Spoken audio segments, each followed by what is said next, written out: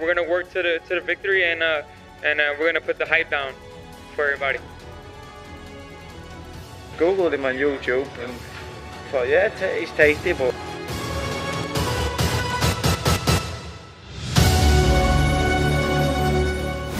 河野公平戦の壮絶な KO 勝利から5ヶ月後井上選手は WBO 世界スーパーフライ級王座5度目の防衛戦に挑みます挑戦者のリカルド・ロドリゲス選手には作戦がありました。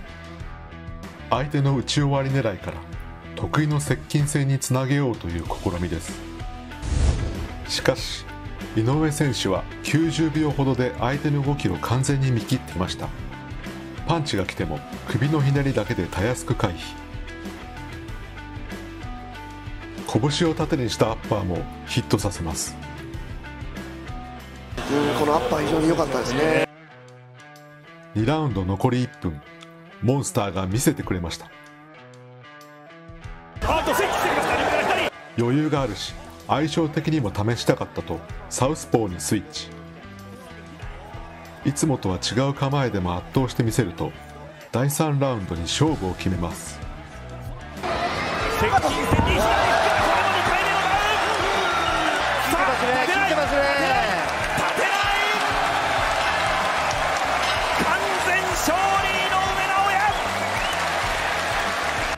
完勝の余韻に浸る間もなくその目は次戦に向いていました。まあ、あのこの次、あのー会長からビッグな試合があると聞いてるので、そのビッグな試合の場所は本場アメリカのロサンゼルス。放送局 HBO が主催する一大イベントスーパーフライです。メインは元パウンド・フォー・パウンド1位のロマゴンことローマン・ゴンサレス選手と彼に勝ったシーサケット選手の再戦です。井上選手はこのビッグイベントに熱烈なオファーを受けて参戦。記念すべき全米デビューの相手はアントニオ・ニエベス選手です。20戦17勝の戦績ですが賭けの倍率は33倍という格下扱い。それでもニエベス選手には怪物を恐れる様子はありませんでした。試合開始ニエベス選手は打たれながらも前に出る姿勢を見せます。しかし2ラウンド以降は戦法が一変怪物の強打を恐れて逃げ始めます。ウォール・ストリート・ジャーナルでも取り上げられた銀行家ボクサーは自分の勝利よりも無事生き残ることに投資先を変えたようでした。軽快に見えた井上選手ですが本来の動きではありませんでした。西海岸特有の乾燥した気候でまるで汗が出ず減量に大苦戦。さらにアメリカ進出の力みからか攻撃も雑になっていました。ようやくニエベス選手を捉えたのは5ラウンドでした。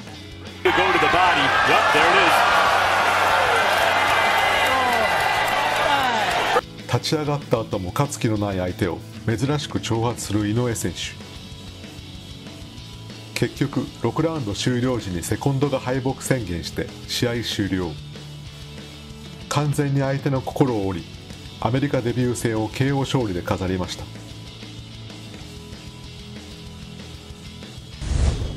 メインイベントではロマンゴン選手が壮絶な KO 負け。フライ級の超人も一つ上の階級ではサイズの壁に跳ね返されたのです。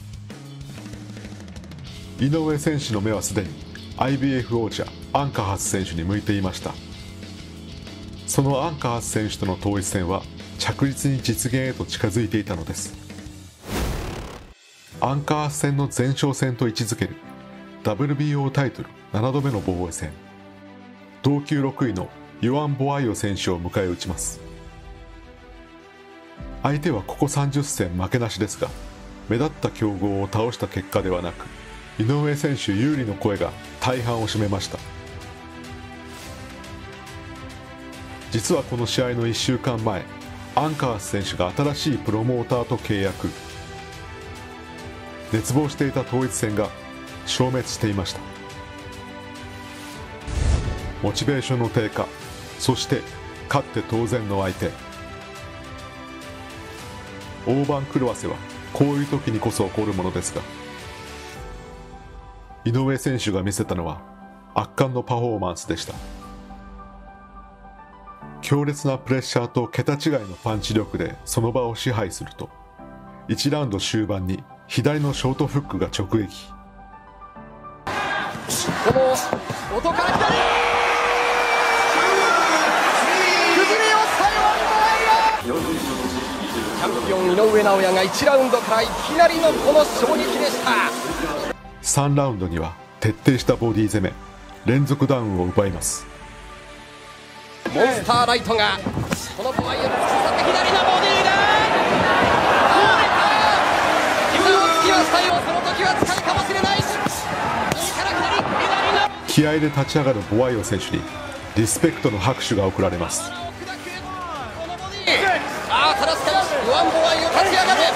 拍手が湧き上がります。しかし最後に響いたのは断末魔の叫び声でした。世界を見てくれ。これが日本の司法止めた止めた止めた。快勝した井上選手ですが今後の予定は白紙でした。戦いたかったロマゴン選手は敗れアンカハス選手との統一戦は消滅チューブラリンの気持ち。当時の心境を井上選手はそう語っています。マッチルーム。多くの世界王者が所属する英国の大手プロモーターが1階級上となるバンタム級での試合を受諾しました。相手は WBA 世界バンタム級王者ジェイミー・マクドネル選手。戦績は29勝2敗1分け1無効試合。特にここ10年は負け知らずで亀田三兄弟の三男友樹選手にも連勝しています。怪物もこれまでで最も強い相手と警戒する王者です。まあ、過去15戦やった中で一番最強の敵だと思ってますし。井上選手が勝利すれば3階級制覇の偉業を達成するとともに近々開催予定のメガイベントへの参加資格を得られる重要な一戦です。さらにパワーを増したバンタム級の体を作り試合に挑みます。Didn't, I still don't even know his, I can't pronounce his first name, I just call him yeah. この試合が決まるまで井上選手を知らなかったマクドネル選手ですが入念な準備をしてきたことは言うまでもありません井上選手はこれがバンタム級初戦。計量後に大きく体重を戻した。マクドネル選手とのサイズ差に恐怖感もあったと言いますが試合開始直後あることに気づきました。マクドネル選手のジャブはとても弱く簡単に叩き落とせたのです。原因は減量の失敗。マクドネル選手は壊れていました.様子見のフックでよろめく王者その弱みに怪物が牙をむきます。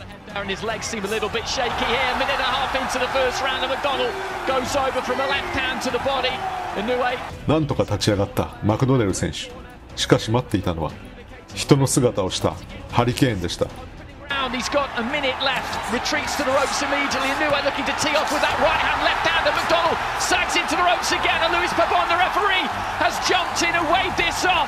Inside the first round.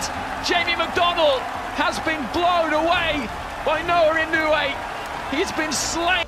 暴力的な連打で10年間無敗の男を葬ったこの衝撃 KO は3階級制覇の偉業とともに新たな戦いへの招待状をもたらしました一方敗れたマクドネル選手は試合後完敗を認めています勝てるつもりで試合に挑んだけれど最初の一発で衝撃を受けた。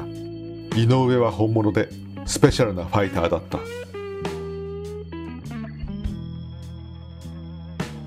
マクドネル選手の悲劇は王座転落だけではありませんでした。井上選手との試合中自宅に空き巣が入りその後に最愛の妻と離婚。愛娘と離れて鬱になり生活は困窮。慣れぬ工事の仕事でしのぎました。それでも元王者はグローブを潰しませんでした。井上戦から約1年後の2019年6月再起戦に勝利。中継カメラのないイタリアの会場で相手は無名選手。以前の華々しさはありませんが充実した表情を見せたマクドネル選手。大切なものを取り戻すその日まで。かつて王だった男の人生は続きます。WBA、WBC、WBO、IBF の4団体王者とランキング上位選手だけが出場を許されるその階級の真の王を決めるトーナメント。それがワールドボクシングスーパーシリーズです。シーズン2のバンタム級シリーズには8人の選手が参戦。The Monster. WBA 新王者の井上選手 WBA スーパー王者のライアン・バーネット選手。IBF 王者のエマヌエル・ロドリゲス選手。WBO 王者のゾラニ・テテ選手。そこに元5階級王者ドネア選手ら4名の猛者が加わります。禁止薬物と体重超過で王座を剥奪された WBC 元王者のネリ選手も参戦を希望しましたがリスクが高くブラウンドを汚すと運営側が拒否しています。最後に残った一人が真の王としてベルトと名誉を独占。それ以外の7人は敗者として全てを奪われる残酷な潰し合い。井上選手が渇望していたヒリヒリする戦いがいよいよ始まります。初戦の相手は元 WBA スーパー王者ファン・カルロス・パヤノ選手。ジムに寝泊まりして掃除も欠かさない謙虚で練習熱心なドミニカンです。WBSS は自分が望んでいた大会バンタム級最強を証明したい。そう語っていた井上選手はこの試合で世界を驚かせる KO を見せます。それは試合開始からわずか1分後の出来事でした。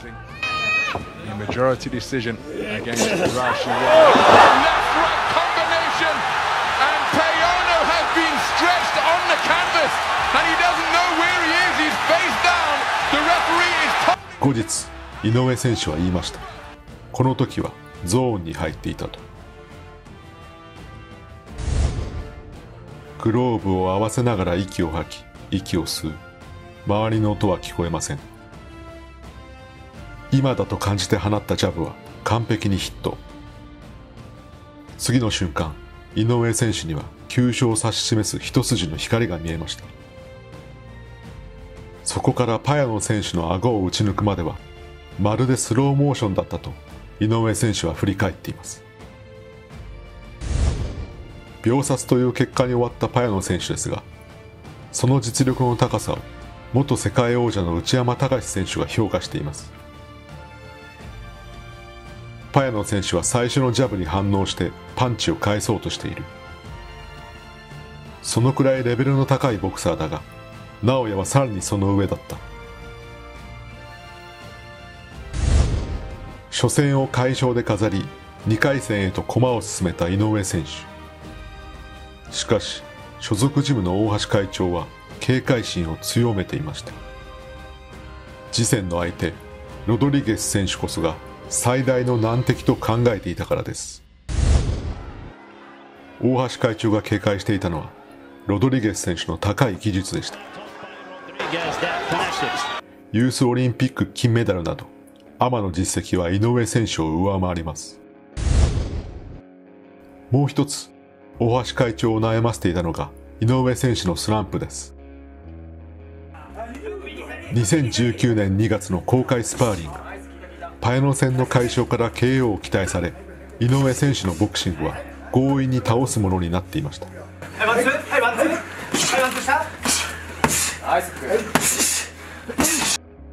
父から初心に戻ろうと助言を受けて翌日からスパーを中止。トレーニングの中で自分と向き合い早々にスランプを克服しました万全の状態で次戦が行われるグラスゴーへ乗り込みます。試合前の波乱はまだ終わりませんでした。慎吾トレーナーがルールにのっとってロドリゲス選手の練習を撮影すると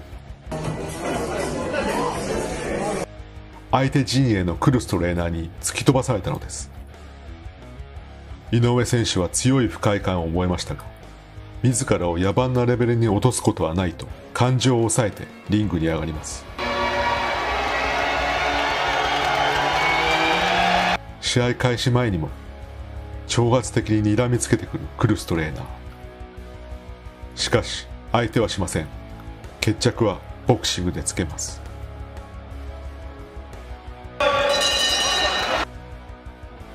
先にプレッシャーをかけたのはロドリゲス選手の方でした。ジャブの差し合いでは何度も線の線を取られる展開。さらに互いの強いパンチが空を切る。スリリングな攻防が続きます。大橋会長ならずとも簡単な相手ではないと感じさせる1ラウンドでした。しかし当の井上選手は違いました1ラウンドの攻防で相手の実力を見切り倒せると確信していました。怪物の夜が始まります。2ラウンド。井上選手は前後にステップし自分の距離を作ります。パンチが的確に当たり始めた。その時でした。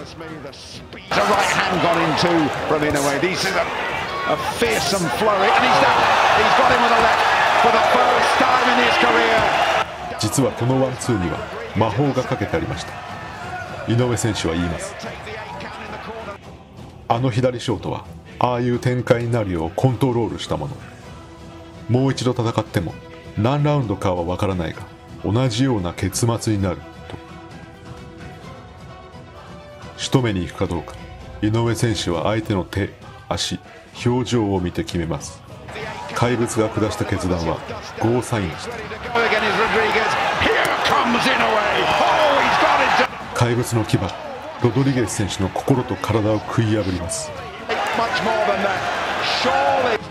無敗のプエルトリカンには反撃の力は残されていませんでした。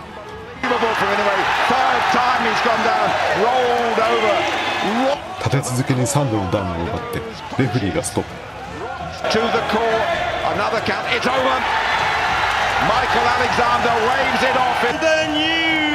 難敵にも KO で解消し残すは決勝戦のみ。頂点を争う相手はあの男。5階級制覇のスーパースターノリト・ドネア選手です。試合後の取材中因縁のクルストレーナーが歩み寄ってきました。警戒する慎吾トレーナーの前に差し出されたのは大きな手でした。慎吾トレーナーは笑顔で握手をすると井上選手にこう言いました。